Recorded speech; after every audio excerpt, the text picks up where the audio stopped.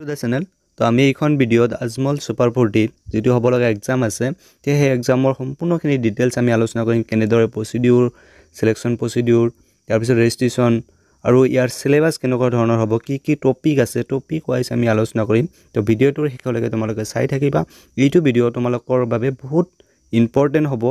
চ' আমি ভিডিঅ'টো ষ্টাৰ্ট কৰোঁ। তো ইয়াতে এক্সামটোৰ নাম হৈছে Ajmal forty super forty Ajmal super forty এই এক্সামটো দিলে তোমালোকে আজমল যিটো কলেজ আছে সেই কলেজখনত আমি এডমিশ্যন ল'ব পাৰোঁ বা তোমালোকে এডমিশ্যন ল'ব পাৰিবা। Ajmal modern residential school Hojai যিটো হোজাইত অৱস্থিত আছে স্কুলখনৰ নাম এইটো হয়। তাজমল মডাৰ্ণ ৰেচিডেণ্টেল স্কুল তো admission test two thousand twenty three যিটো চলি আছে এতিয়ালৈকে এডমিশ্যন টেষ্ট আমি দিব লগা হ'ব যাৰ বাবে আমি অনলাইন ৰেজিষ্ট্ৰেশ্যন এতিয়া চলি আছে যিটো registration online test online registration is going on for admission in class eight class এইটত এডমিশ্যন ল'বলৈ হ'লে তোমালোকে এতিয়াই এপ্লাইটো কৰিব লাগিব। তো এপ্লিকেশ্যন কৰাৰ ইয়াৰে এটা ডেট আছে অনলাইন এপ্লিকেশ্যন অনলাইন যোগে তোমালোকে আবেদনটো জনাব লাগে তো ইয়াৰে লাষ্ট ডেটটো এপ্লিকেশ্যনৰ লাষ্ট ডেট হৈছে থাৰ্টি ফাৰ্ষ্ট ন December two thousand twenty two তো এডমিশ্যন প্ৰচিডিউৰটো কেনেকুৱা হ'ব? এডমিশ্যন প্ৰচিডিউৰটো হৈছে তোমালোকে ৰিটেন টেষ্টটো দিব লাগিব। মানে আজমল ফৰ্টি টেষ্টটোৰ এণ্ট্ৰেঞ্চ এক্সামটো তোমালোকে দিব লাগিব। তো এণ্ট্ৰেঞ্চ এক্সামত পাছ কৰাৰ পিছত এণ্ট্ৰেঞ্চ এক্সামত ছিলেক্ট হোৱাৰ পিছত তোমালোকৰ পাৰ্চনেল এটা ইণ্টাৰভিউ লোৱা হ'ব। ইণ্টাৰভিউ লোৱাৰ পিছতহে তোমালোকৰ এডমিশ্যনটো দিয়া হ'ব। তো ইণ্টাৰভিউটো দিব লাগিব। দিয়াৰ পিছতহে আমি এডমিশ্যনটো পাম। তো ইয়াৰ কাৰণে আমি কি কি কৰিব লাগিব? আজমল ছুপাৰ ফৰ্টি এডমিশ্যনৰ তো এতিয়ালৈকে চলি আছে। তো আজমল ছুপাৰ ফৰ্টিৰ পৰা কোনে কোনে এডমিশ্যন ল'ব পাৰে? তো আজমল ছুপাৰ ফৰ্টিত এপ্লাই কৰিবলৈ কৰিবলৈ হ'লে যিসকল ছাত্ৰ ছাত্ৰীয়ে এতিয়ালৈকে ক্লাছ এই ছেভেনত পঢ়ি আছে। তো ছেভেনত পঢ়ি থকা ষ্টুডেণ্টসকলে সেই ষ্টুডেণ্টসকলে আজমল ছুপাৰ ফৰ্টিত ক্লাছ এইটত এডমিশ্যন লোৱাৰ কাৰণে টেষ্টটো দিব পাৰিব। আৰু যিসকল ষ্টুডেণ্ট ক্লাছ টেনত পঢ়ি আছে তো সিহঁতে ইলেভেনত এডমিশ্যন লোৱাৰ বাবে সিহঁতে পৰীক্ষা দিব পাৰিব। হয় ন? তো ইলেভেনৰ কাৰণে এটা ছুপাৰ ফৰ্টি এক্সাম পতা হয় আৰু ক্লাছ এইটৰ কাৰণে এটা ছুপাৰ ফৰ্টি এক্সাম পতা হয়। তো তাৰ কাৰণে চিলেবাছটো অলপ বেলেগ বেলেগ হ'ব। তো চিলেবাছটো আমি চাই লওঁ। তো কি কি চিলেবাছত থাকে সেইখিনি চাই লওঁ আমি। তো ফাৰ্ষ্টত যিটো আমাৰ চিলেবাছ দিয়া আছে এই চিলেবাছত কিহৰ দিয়া হ'ল ক্লাছ এইটত যিবিলাক এইটত এডমিশ্যন ল'ব যিসকল ছাত্ৰ ছাত্ৰীয়ে সেই ছাত্ৰ ছাত্ৰীৰ বাবে কেনেকুৱা ধৰণৰ কুৱেশ্যন আহিব ক'ৰ পৰা কেনেকুৱা ধৰণৰ কুৱেশ্যন আহে তো তাৰে ডিছক্ৰিপশ্যন ইয়াতে দিয়া আছে।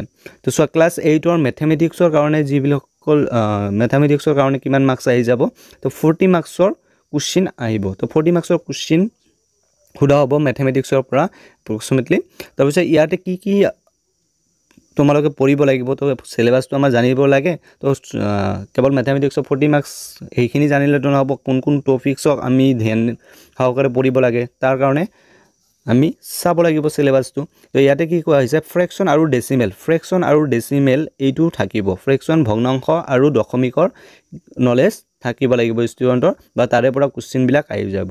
তাৰপিছত চিম্পুল ইকুৱেশ্যন ধৰণৰ যিবিলাক ইকুৱেশ্যন আছে সেই ইকুৱেশ্যনবিলাকৰ নলেজ থাকিব লাগিব। তাৰে পৰা কুৱেশ্যন আহিব। তাৰপিছত কম্পায়াৰিং কোৱাণ্টিটিছ তো কম্পায়াৰিং কোৱাণ্টিটিছৰ ওপৰত কুৱেশ্যনবিলাক আহে ৰেচনেল নাম্বাৰ পৰিমেয় সংখ্যা যিটো কোৱা হয়। তাৰপিছত পেৰিমিটাৰ্ছ এণ্ড এৰিয়া যিটোক আমি পৰিসীমা আৰু কালি বুলি কওঁ পৰিসীমা আৰু কালি তো সেইবিলাকৰ ওপৰত কুৱেশ্যন আহিব। এলজেব্ৰিক এক্সপ্ৰেশ্যনছ তো এলজেব্ৰিক এক্সপ্ৰেশ্যনৰ ক্ষেত্ৰত তাৰে পৰা কুৱেশ্যন আহে। তো এক্সপনেণ্ট এনো আৰু পাৱাৰ তো এক্সপনেণ্ট আৰু পাৱাৰ সেইবিলাকৰ কুৱেশ্যনো আহিব। এক্সপনেণ্ট এণ্ড পাৱাৰ যেনেকৈ আমি লিখোঁ x to the power three তো এনেকুৱা এক্সপনেণ্ট এণ্ড পাৱাৰ সেইবিলাকৰ কুৱেশ্যন আমি চাব পাৰিম আমাৰ ছুপাৰ ফৰ্টি ক্লাছ এইট এইটৰ কাৰণে যিটো পৰীক্ষা হ'ব সেই পৰীক্ষাটোত এনেকুৱা ধৰণৰ কুৱেশ্যন আমি মেথছৰ পৰা চাব পাৰিম। তাৰপিছত ছায়েন্সৰ পৰা আমি কি কি পঢ়িব লাগে? তো ছায়েন্সৰ পৰা আমি পঢ়িবলৈ হ'লে চোৱা আমাৰ ছায়েন্সৰ পৰা আমি কি কি পঢ়িম ইয়াতে? তো ছায়েন্সৰ পৰা আমি পঢ়িম। অ'কে ফাৰ্ষ্টত ফাই fibre to fabric fibre to fabric পঢ়িম। তো এইটো topic acid base and salt physical and chemical changes then electrical current and its effects light motion and time food components of food digestive system in humans and respiratory systems in humans তাৰপিছত ৰেছপিৰ respirations and breathings transportations of foods তাৰপিছত water and plants okay human circulatory system human circulatory ছিষ্টেমটো চাব লাগিব। Human blood যিটো circulation হয় তাৰে সেইবিলাকৰ বিষয়ে আমি পঢ়িম।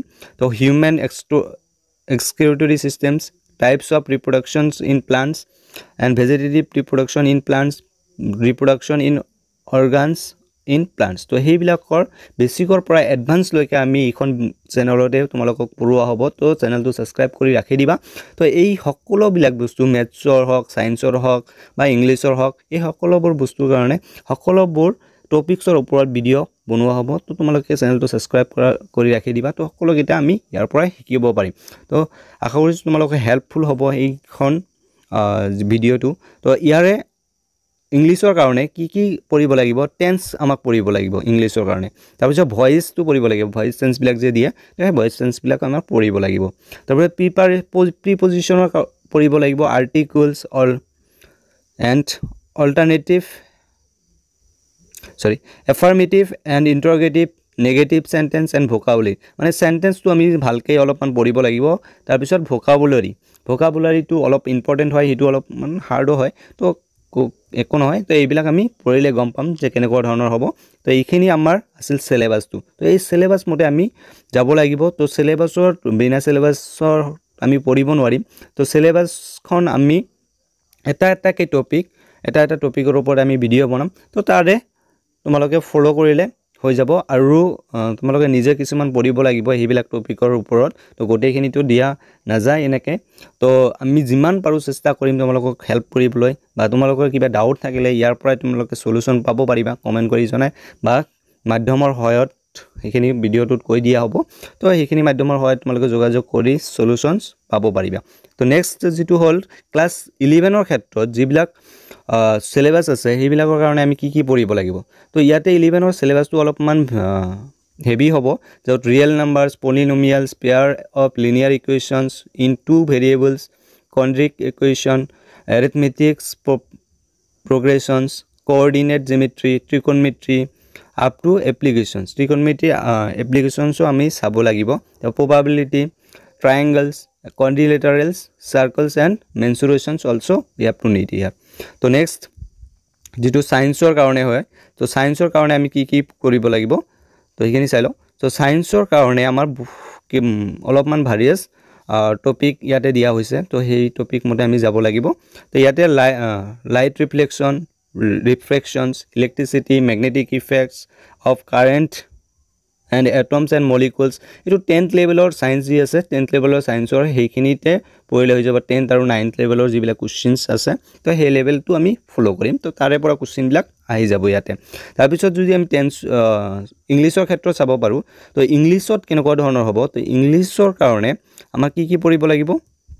চাই লওঁ একবাৰ। তো ইংলিছৰ কাৰণে আমাৰ পঢ়িব লাগিব টেন্সটো ঠিক আছে? টেন্সৰ পৰা কুৱেশ্যনটো আহিয়ে থাকে। তাৰপিছত voice change vocabulary error correction also' we have to read here and prepositions tag questions articles determiners and determiners and parts of speech determiners and parts of speech also' we need it নৈ there তো এই এইখিনিৰ কাৰণেও আমি এইখন চেনেলতে তোমালোকে video পাবা। তো তাৰে পৰা তোমালোকে শিকিব পাৰিবা বহুতবিলাক কুৱেশ্যনছ তো এইখিনিতে আকৌ এটা কথা কৈ দিওঁ যে টোটেল মেথমেটিক্সৰ কিমান মাৰ্কছ আছে? ফৰ্টি মাৰ্কছ ছায়েন্সৰ কাৰণে ছিক্সটি মাৰ্কছ আৰু ইংলিছৰ কাৰণে টুৱেণ্টি ফাইভ মাৰ্কছ টোটেল তোমালোকৰ ওৱান ফিফটি মাৰ্কছৰ এক্সামটো হ'ব।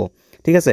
তো ওৱান ফিক্স ফিফটি মাৰ্কছৰ টোটেল এক্সামটো হ'ব ৰিটেন এক্সামটো তাৰপিছত তোমালোকে ৰিটেন এক্সামটো ক্লিয়াৰ হোৱাৰ পিছত ভাইভা এক্সামটো দিব লাগিব।